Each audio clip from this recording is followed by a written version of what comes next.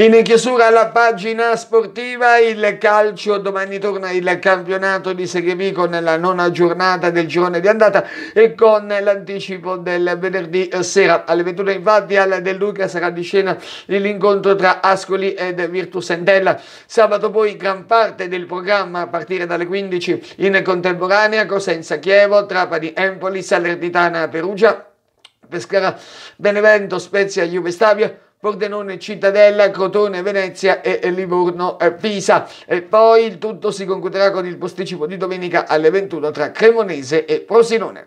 È tutto per l'edizione serale di Speciale News Web 24. Grazie per essere stati con noi anche oggi. La nostra informazione torna come sempre domani mattina alle 8.45 con nuovo giorno. Buon proseguimento di serata.